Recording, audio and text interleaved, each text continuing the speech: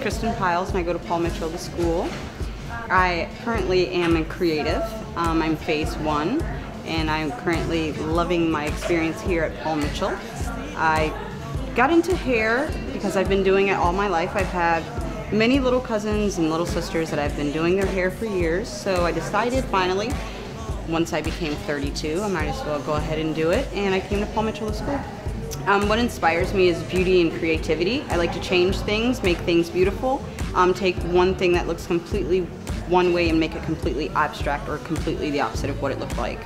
Um, something about my accomplishments here, um, I definitely have challenged myself, I definitely have pushed myself. Um, I never thought in a million years I'd be here or would be doing any of the things that I've been doing. I've met tons of people, I've opened up my doors, and I've definitely challenged myself.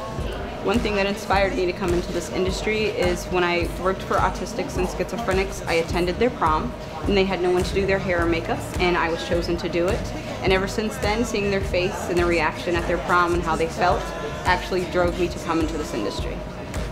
What continues to inspire me is everyone that I go to school with, a lot of friends, a lot of family, um, beautiful things I see, lots of Facebooking and Instagram and lots of things I see outside.